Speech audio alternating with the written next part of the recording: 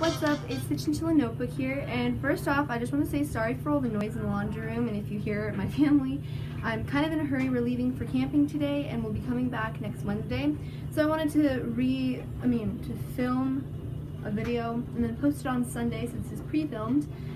So today's video is going to be things to do with your chinchilla. It's not that informative, but I just thought it would be a fun video for you guys if you wanted to, to know anything to do with your chinchillas. Chinchillas are kind of fun animals. So yeah, that being said, we're just gonna get right into the video.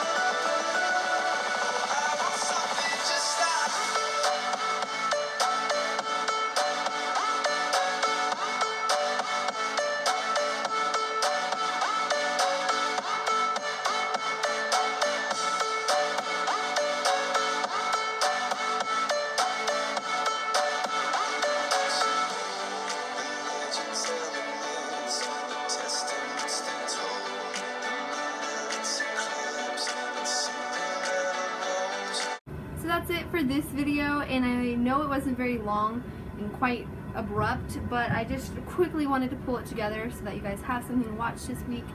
And yeah, so that's pretty much it, and I hope this inspired you if you want to do stuff with your chinchilla. It's nothing new, I'm pretty sure we've all done these things, but in case.